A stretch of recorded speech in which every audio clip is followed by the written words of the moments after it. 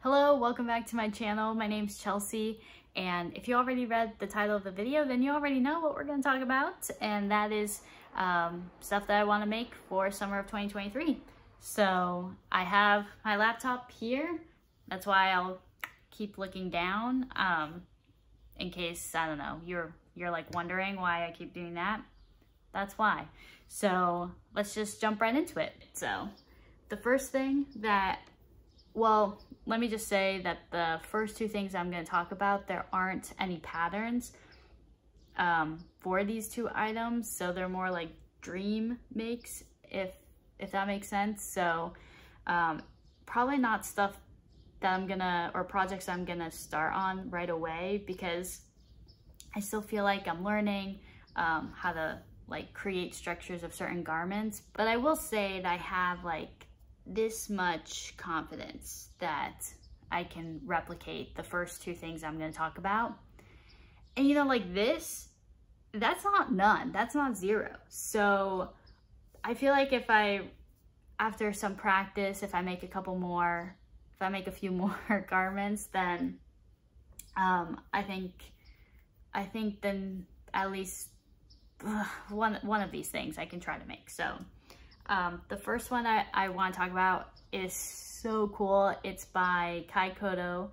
I hope I pronounced their name right. Um, it's their mountain landscape top and I mean it's gorgeous. I it's so cool. I like the mountain um, illustration on there, the color work. I mean, if I were to try to remake this, I might just follow the same colors, the color palette that they used. Um, and I also think that the structure itself, it doesn't look um, super complicated. I mean, it's a kind of a basic vest. I don't mean that like, so basic. No, I mean, it looks um, simple and clean and the entire focus is on the color work itself. And um, again, there's no pattern for this piece, but just by looking at it, I, I think you have to use the Intarsia knitting method um, which you do in the, like you knit flat. So um, just by looking at this, I feel like you already kind of know what kind of colors to use roughly. It's not going to be exactly the same. Um, and you also know to knit the front and back piece separately and then sew them together. The only thing that's not super obvious from this photo is um, the type of material that was used. So I think because I would like to wear this in the summer, um, maybe some sort of cotton would be nice. Uh, but I mean, yeah, it, or maybe even knitting for olives merino or cotton merino would be, would be a good choice for this. But it's so cool and I would love to make this. I mean, I'll try to probably make it, um, again, like I said, after a couple of other projects just to practice. Um, and it also, last thing I'll say about this is that it might be good to make it with three millimeter, but you might be able to get away based like depending on the yarn that you use with four millimeter needles. So um, yeah, so that's the first project or first thing that I hope to make. This is like a dream make. So that's dream make number one.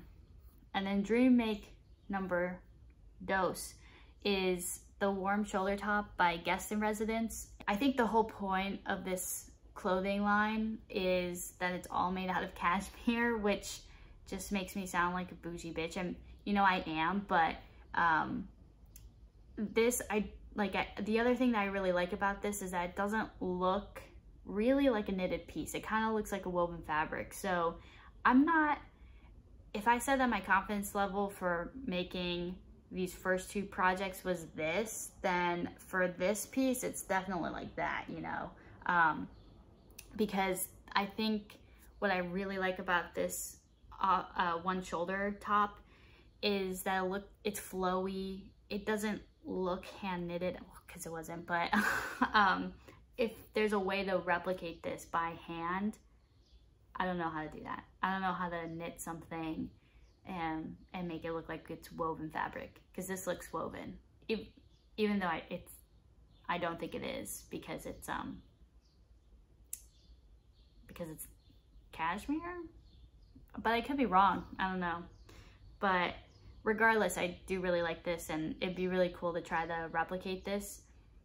I have no idea how to do that. So uh, this would probably be towards the bottom of uh, of my uh, list. And, you know, I put the first two as dream makes because um, there aren't patterns associated with either one of them.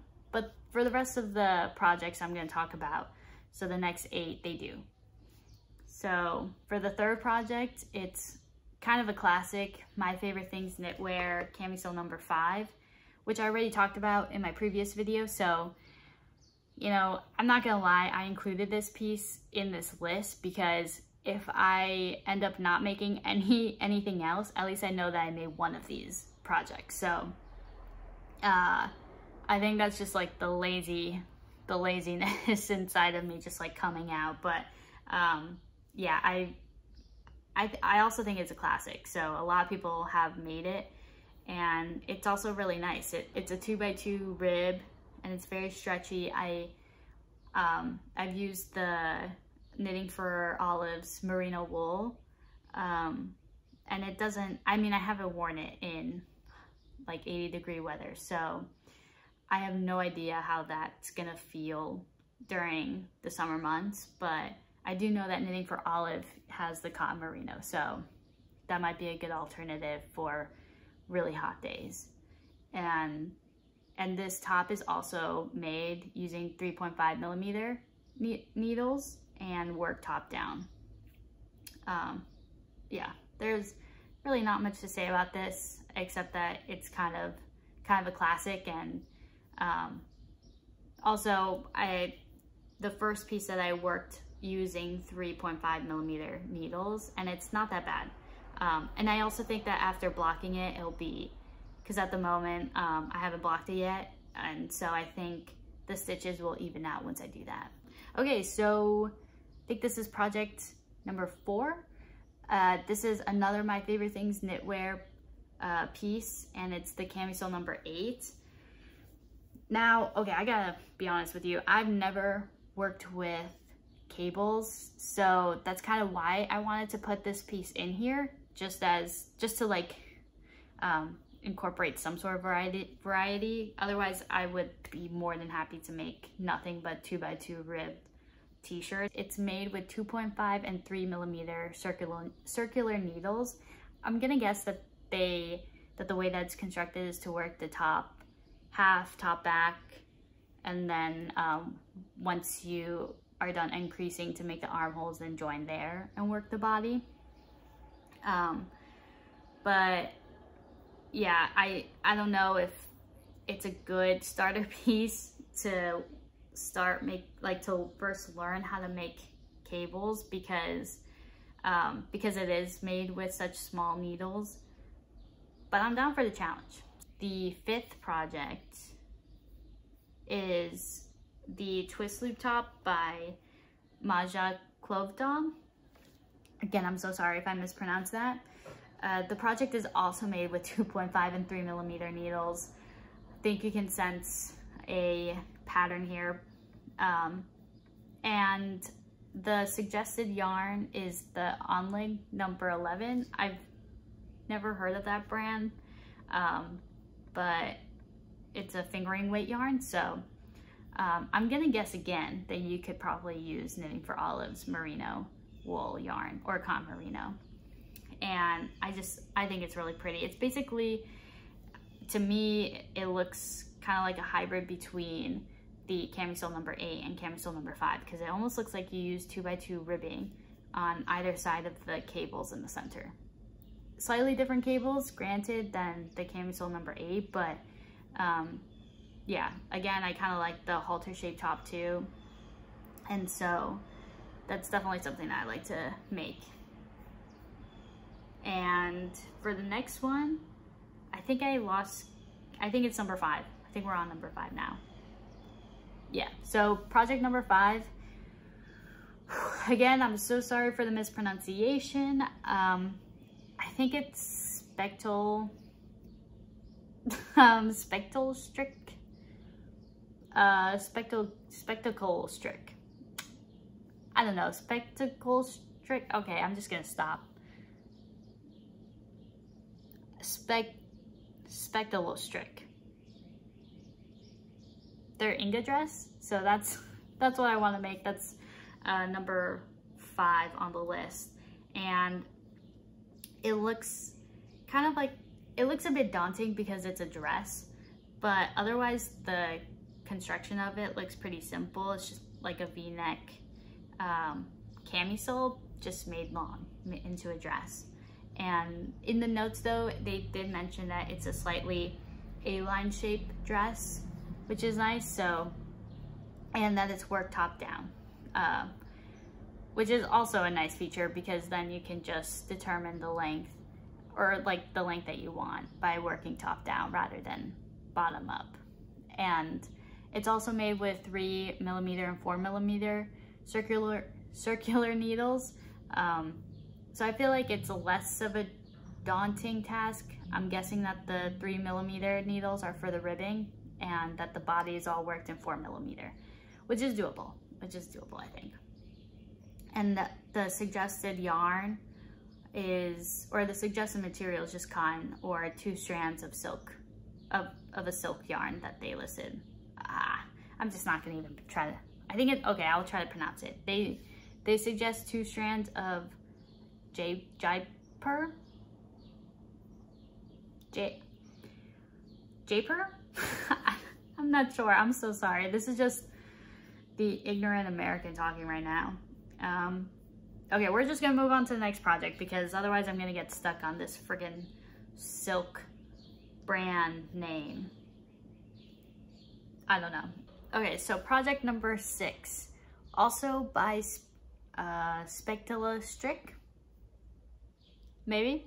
Um, it's their Nellie skirt and it's made with four millimeter circular needles as well.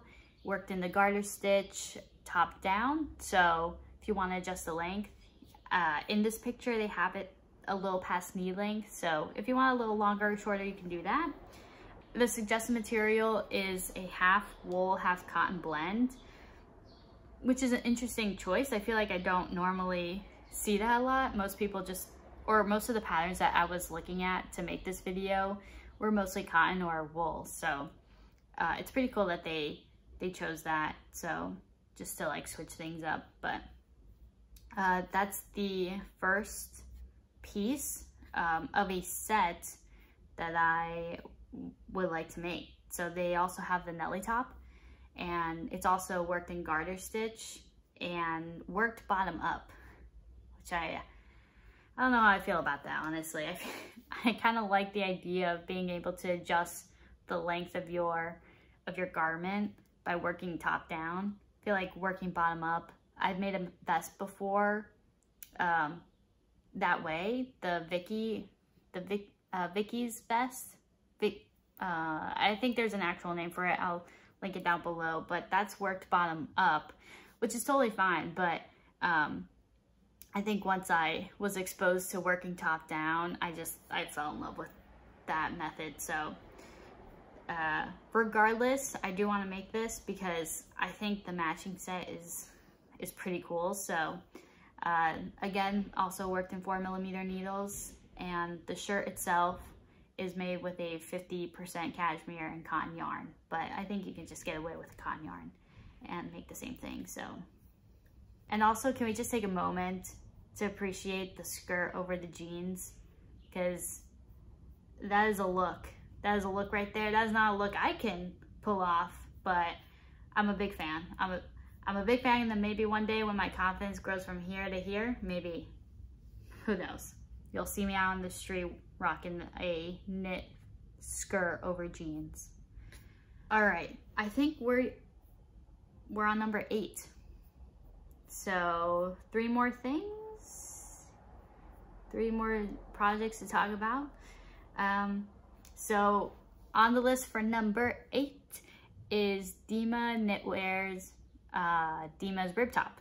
So again, I put this because I um, you know, after making my favorite things knitwear camisole number five, I got used to the two by two rib and I'm not exactly sure if this is also two by two. It looks the ribbing looks a little thicker, so it might be, uh, the ratio might be a little greater, but uh, it's worked bottom up.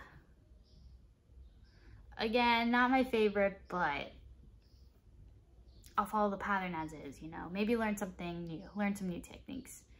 And uh, it's made with five millimeter circular, circular needles and three strands of Mandarin Petite, which is a cotton yarn um, from Sandnes Garn, by the way.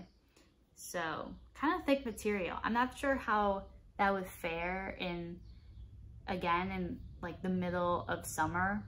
I'm not sure if that'd be too warm. So if I do end up making this top, I mean, I do want to. It's it's a pretty, it's a very nice, uh, it looks like a staple piece. It goes with anything. So um, I might not make it with three strands though of the cotton yarn just to make it a little thinner and I might knit it with smaller needles but uh, I think I guess that's why people make the gauge swatches right and I guess now that makes sense now it's all clicking um, okay anyway so I guess I'll do that knit a square and then figure out figure out where to go from there. Um, but it looks really cool. So again, on the list, and I I feel like I could I could make this um, this year or next year. No, but definitely this year. So in for number nine on this list is by a designer called Another Knit, and it's their Another One Shoulder Top, which I know I already showed guests in Residence's One Shoulder Top, but for this one, um, I was going through the reviews because I saw the pattern on Etsy and there's one person who actually extended the um, like off the shoulder part and made a crisscross halter top, which I thought was really cool. So I would actually just do the same. Um, and so instead of making this a one shoulder top, I would do the crisscross um, design, if, uh, if that makes sense. I, I did want to include the photo of the reviewer because it's on Etsy, but um, uh, I just, I chose to just show the design as it was intended by the designer, but just know that that's an option, you know, and that in life, just, you know, make things the way you want them, I guess you know, I guess you don't always have to stick by the by the pattern or by the rules. Uh, I can't get deep, so I'm not gonna try to do that. Okay, so just to, because I was talking about the needles and the materials that are suggested for each design, I'll do the same for this one. So the suggested yarn is a worsted weight or Aran weight yarn held with lace. So they actually use uh, Knitting for Olives Heavy Merino and their soft silk mohair to make the shirt. And they also use 4.5 and 5, milli 5 millimeter needles. Again, I'm not sure just how uh, optimal that would be for a summer top. I, that seems like a great top for spring, but in the summertime where you're just like, I feel like the last thing you want to wear is wool. So or a thick wool, I mean. So I also might just try to make this with three millimeter needles if I if I do end up making this. So, I mean, going through this list, I'm realizing that everything I want to make is on three millimeter needles, and um, I'm slightly delusional, but not that delusional, and I know that's going to take a while. So in reality, I might just end up making one or two more of these pieces. Um, before the summer. But during the summertime, again, I'll still try to continue working on this. But by summertime, so say like by June,